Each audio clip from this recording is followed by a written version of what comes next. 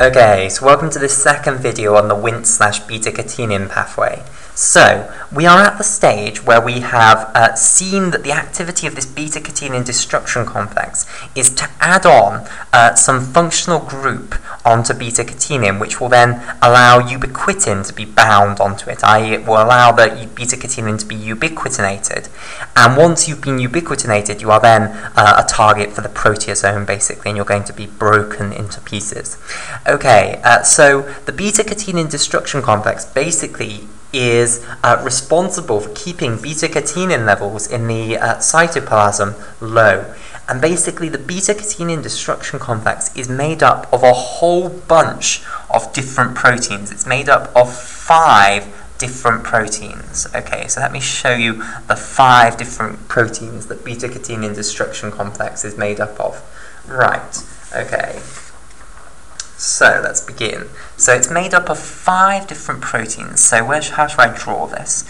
Well, I'll just draw, unfortunately, we'll have two ones there and we'll have, then we'll have three here.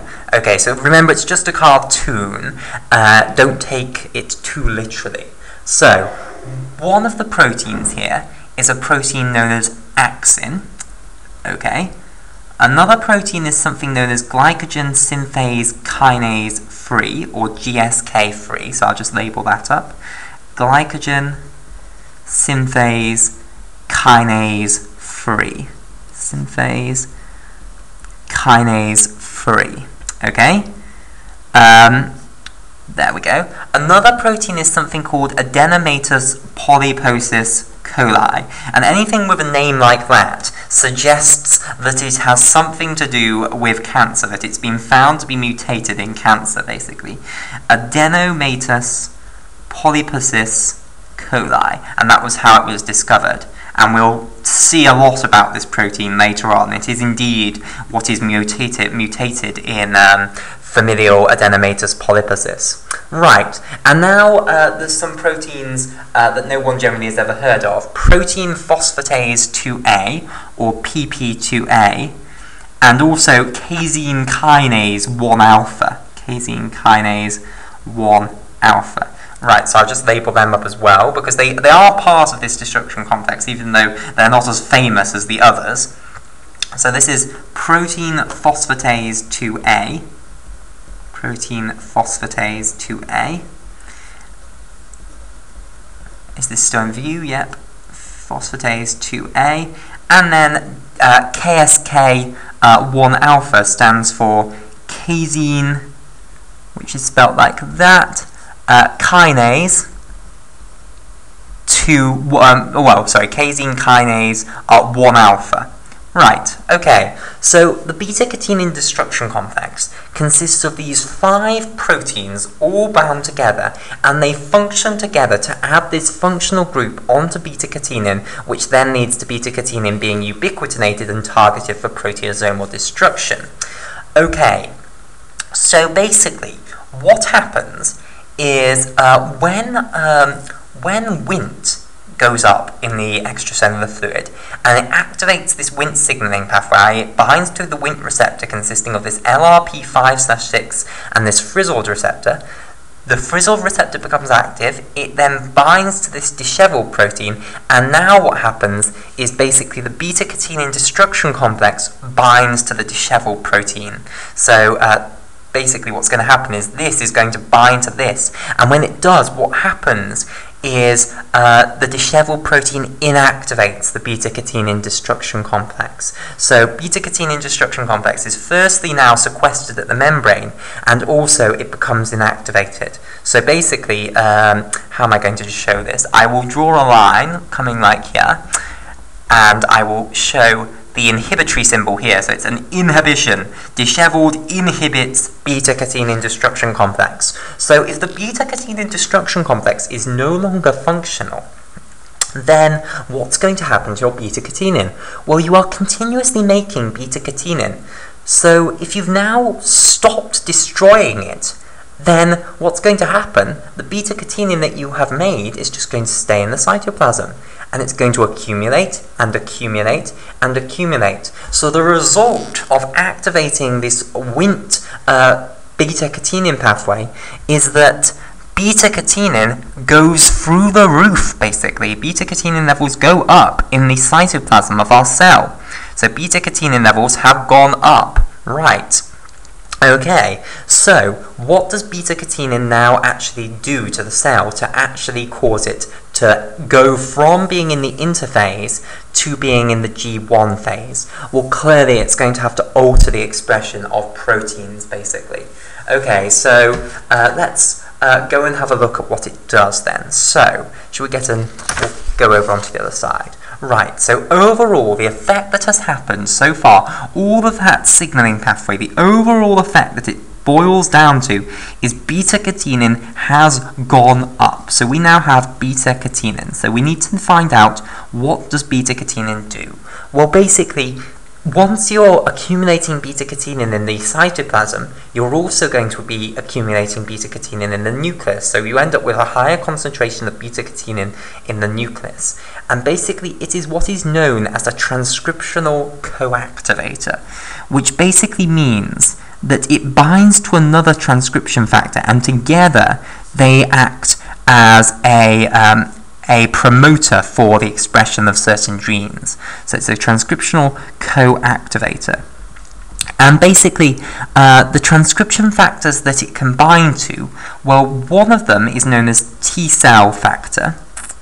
So there are many different types of T cell factors, but basically, beta catenin can associate with these T cell factor um, factor transcription factors. And another one is known as lymphoid enhancing factor. So we'll have another one over here, and this is lymphoid enhancing factor. Lymphoid enhancing factor. And basically, these are transcription factors which alter the expression of uh, genes within the cell and which um, beta-catenin can bind to and, um, and together what they will do is they will bind to DNA and uh, change the expression of genes within the cell. So basically these are often abbreviated to TCF, T cell factor, and LEF for lymphoid enhancing factor. So often when we're discussing beta-catenin's effect, we just write, okay, there is some TCF or lymphoid enhancing factor, LEF transcription factor, and we say beta-catenin binds with this sort of family of transcription factors, so a T cell factor or a lymphoid enhancing factor. So that's just denoting it's either a T cell factor or it's a lymphoid enhancing factor. It's a transcription factor is the important thing. Right, okay, so what happens is beta-catenin is going to come and bind to this T cell factor or this lymphoid enhancing factor. So here comes beta-catenin, and I'll add some colour to this picture to make it more obvious. Uh, so this TCF or LEF is either a T cell factor or a lymphoid enhancing factor, so I'll colour in both of these green. So these are transcription factors. And now, beta-catenin is a transcriptional coactivator. Now, what does it mean to be a transcriptional coactivator? Well, basically, it means that these are transcription factors on their own. They do not need beta-catenin to be uh, effective transcription, uh, transcription factors. But beta-catenin binding to them is going to change the way they interact with DNA. It's going to change potentially the sites at which they bind. It's also going to um, it's also going to affect how much they activate the transcription of certain sites as well. So it is going to change their properties basically as transcription of as transcription factors. Okay, right.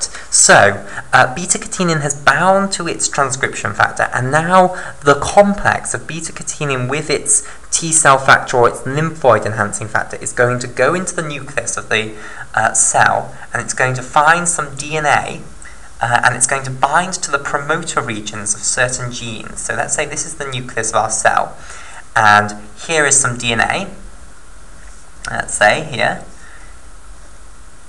and basically, this beta-catenin uh, uh, TCF-LEF complex is going to bind to the promoter regions of certain genes. Let's say this is a promoter region here, and here's the gene here.